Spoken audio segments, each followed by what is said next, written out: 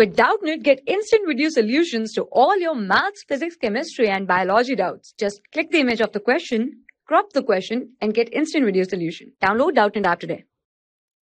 Hi students, the question is that a TV was bought at a rupees of at the rupee uh, at a price of rupees 21000 after one year the value of the tv was depreciated by 5% depreciation means reduction of value due to use and age of the item find the value of the tv after one year so it is given that the price the cost price of tv cost price of tv is rupees 21000 right is rupees 21000 now it is saying that TV was depreciated by 5%. Depreciation means reduction in the value, reduction in the price, right?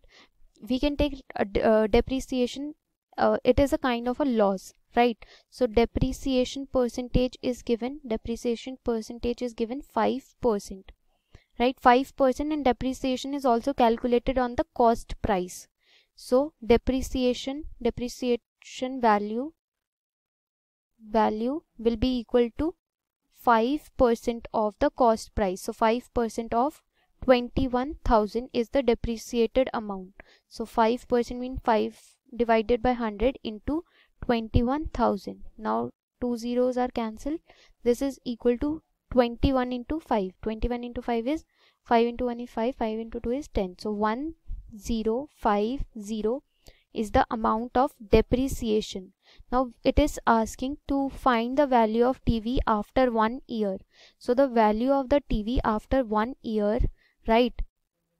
Or we can say the final price of the TV, final price of the TV after one year will be original price. Original price is 21,000 minus the depreciated value that is 1050.